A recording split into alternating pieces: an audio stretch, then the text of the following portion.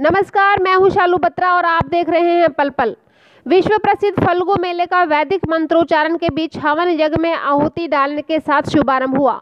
उपायुक्त धर्मवीर सिंह ने पत्नी सहित सभी उच्चाधिकारियों के साथ यज्ञ में पूर्ण आहुति डालकर फल्गु मेले का मंगल कामनाओं के बीच शुरुआत की। तदुपरांत उपायुक्त मंदिर परिसर में स्थापित फल्गु ऋषि की मूर्ति के समक्ष नतमस्तक हुए तथा पंद्रह दिन चलने वाले इस विशाल मेले की सफलता की कामना की। उन्होंने पवित्र सरोवर में भी आराधना की। उपायुक्त व पुलिस अधीक्षक ने मेले में पहुँचने वाले लाखों श्रद्धालु यात्रियों की सुविधा के लिए किए गए प्रबंधों का जायजा लिया तथा संबंधित अधिकारियों को निर्देश दिए कि मेले के दौरान व्यवस्था बनाए रखने के लिए यात्रियों को बिजली, पानी, सड़क, अस्थायी शौचालय व सुरक्षा व्यवस्था को चाक चौबंद बनाना सुनिश्चित करें। उपायुक्त ने समूचे मेला परिसर में किए गए अलग अलग प्रबंधों की भी जानकारी दी और बताया कि 15 दिन तक चलने वाले इस मेले में अमावस्या पर मुख्य स्नान होगा। मैनेजमेंट के लिए हमने काफ़ी फोर्स की यहाँ पे डिप्लॉयमेंट करी है। यहाँ पे हमने लेयर्स में दो लेयर बनाए हैं नाकों के भी, एक इनर कॉर्डन और एक आउटर कॉर्डन जो इनर कॉर्डन है, उसके अंदर हम गाड़ियाँ अलाउ नहीं करेंगे ताकि अंदर जो सारे जो लोग आएँगे यहाँ पे मेले में पार्टिसिपेट करने के लिए, उनको कोई दिक्कत ना हो। साथ ही साथ है कि और ज़्यादा कंट्रोल करना पड़ रहा है। या कोई कंटेंजेंसी हो जाती है तो एक सेकेंड लेयर भी हमने नाकों की बनाई है, ताकि हम वहाँ से भी एक्सेस कंट्रोल कर सकें मेले का। साथ ही साथ सारी घाटों पे हमारी ड्यूटियाँ रहेंगी। महिला घाट है, उस पर अलग से महिला ड्यूटी रहेगी।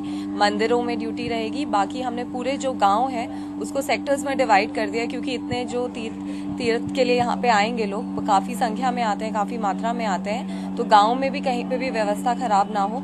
इस हिसाब से हमने सेक्टर बना करी है।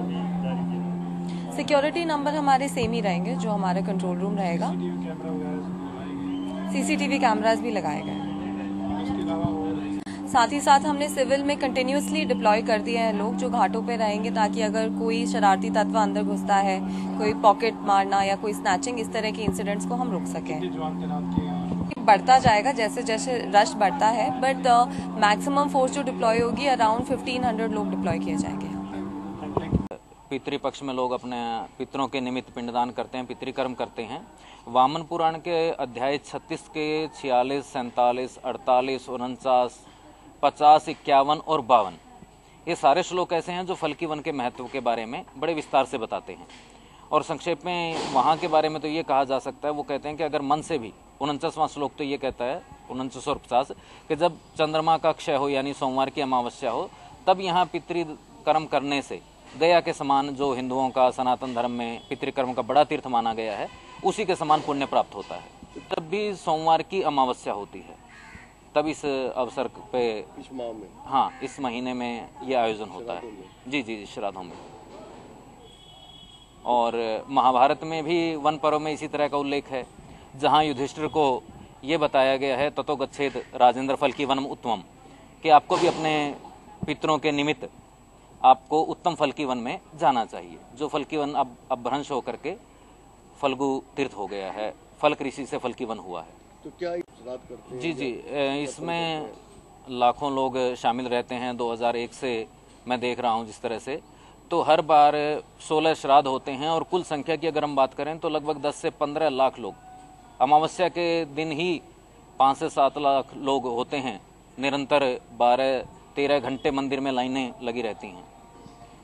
तो पंद्रह जैसे श्रद्धालुओं से मिलना होता है तो बड़ी श्रद्धा से लोग आते हैं और संपर्क करते हैं पहले जानकारी लेते हैं तीर्थ के बारे में लोगों को बड़ी जानकारी भी और बड़ी श्रद्धा से आते हैं। तो क्या पवित्र सरोवर दृशदवती नदी से जुड़ा हुआ है।